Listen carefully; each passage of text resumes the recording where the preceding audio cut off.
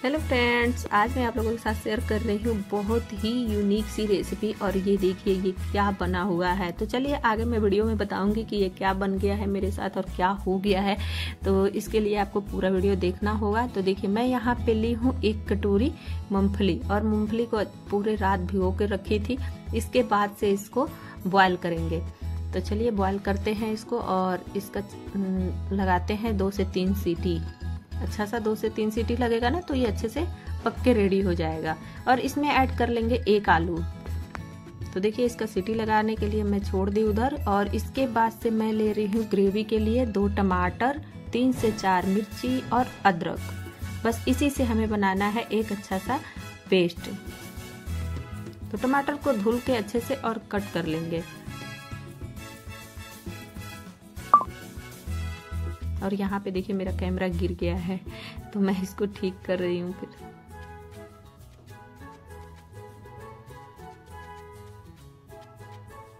तो यहाँ पे टमाटर को मैंने कट कर लिया, उसके बाद से इसका एक अच्छा सा पेस्ट बना के रेडी कर लेंगे। तो देखिए मैं यहाँ पे तीनों मिला दी हूँ, उसके बाद से इसमें छोटी वाली कटोरी से एक कटोरी दही मिला रही हूँ और जीरा पाउडर। इससे एक अच्छा सा पेस्ट बना के तैयार कर लेंगे। इसको नहीं मिलाना है, इसको मैं रखूँगी तड़के के लिए। तो देखिए यहाँ पे पेस्ट बन के तैयार हो गया है। उसके बाद से ये मूंगफली भी अपना बॉयल होके रेडी हो गया है। इसमें देखिए बहुत अच्छे से बॉयल हो गया है और एक आलू जो ऐड किया हुआ था ना, वो भी इसी में पक गया है। तो चलिए अब चलते हैं गैस की तरफ़। तो यहाँ पे पैन रख दी हूँ मैं गरम होने के लिए। उसमें एक चम्मच घी डाली हूँ। इसके बाद तड़के में जीरा डाली हूँ और जीरा को अच्छे से पकने देंगे। थोड़ा सा सुनहरा हो जाता है जीरा ना तो बहुत अच्छा उसका टेस्ट आता है। ना जले और ना ही मतलब कच्चा रहे ऐसे में। तो बस हल्का हल्का सुनहरा हो जाए, बस देखिए ऐसे ही। उसके बाद से इसमें हमें मसाला ऐड कर देना है, जो टमाटर, मिर्च और अदरक का पेस्ट बना के रखा हुआ है ना, उसको इसमें ऐड कर देना है। इसको अच्छे से पका लेना है। अब इसको चलाना है, एक मिनट चला के उसके बाद से दो से तीन मिनट के लिए इसको ढक के छोड़ देंगे, ताकि ये अच्छे से पक जाएगा।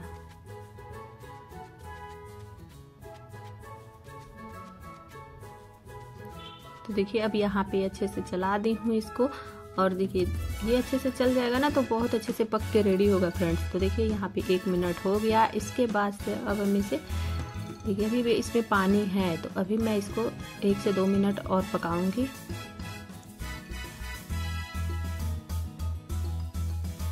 तो मैं फिर छोड़ दी। उसके बाद से देखिए, अब ये पक के रेडी हो गया है। अब इसमें हम मिलाएँगे स्वाद अनुसार नमक।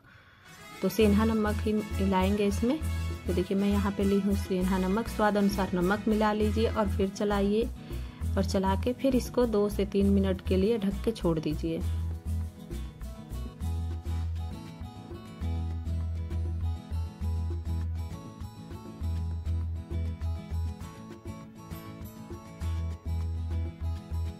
तो देखिए, यहाँ पे मैं इसको ढक के छोड़ दी।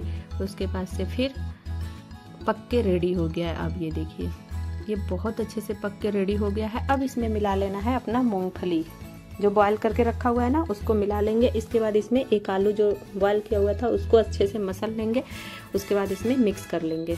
और देखिए, बहुत अच्छे से ये ना मिक्स जब हो जाएगा ना तो इसकी ग्रेवी जो बनेगी, वो बहुत गाढ़ी होगी। आलू नहीं ऐड करेंगे ना तो मूंगफली और पानी दोनों अलग अलग दिखाई देगा।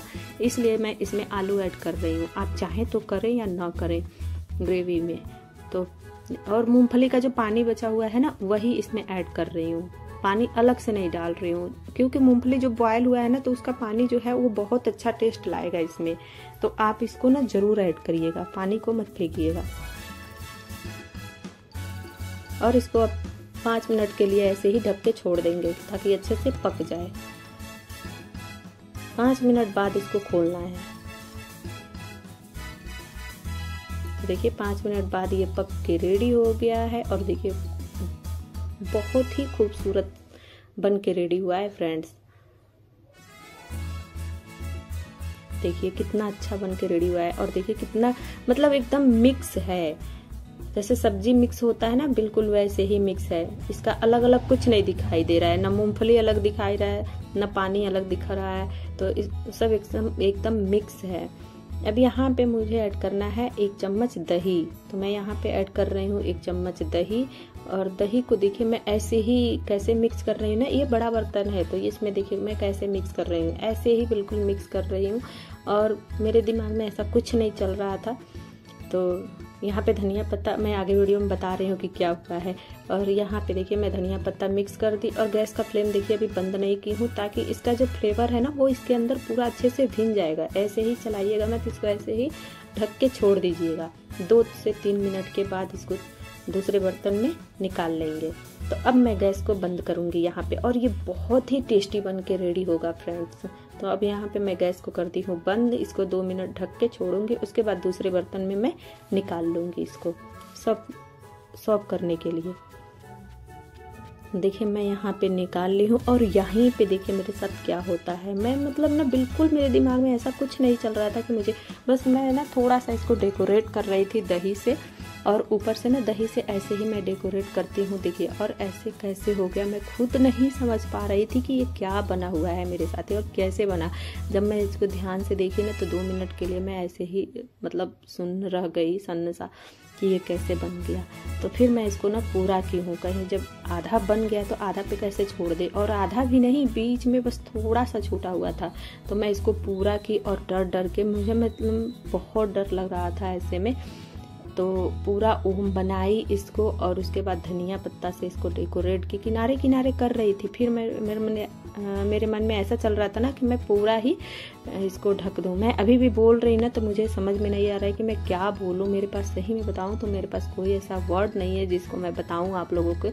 कि क्या ऐसा मेरे मन में तो कुछ ऐसा चल नहीं रहा था लेकिन फिर भी कैसे ऐसे बना है? मुझे ये खुद नहीं समझ में आ रहा है। वो भी ये अन्य है ना तो इसके लिए और नहीं कुछ ड्राइंग होता बन जाता तो उसका समझ में आता है कि हाँ चलो ड्राइंग कर रहे थे ऐसे ही बन गया। लेकिन ये तो आ, मतलब इस इस पे कैसे बना ये नहीं समझ में आ रहा था मेरे को।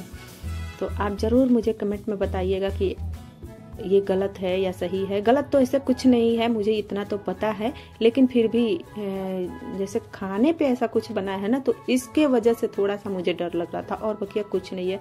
ये तो भगवान की महिमा है कि मेरे हाथ से ऐसा कुछ बना है और मेरे खाने में बना है बिल्कुल।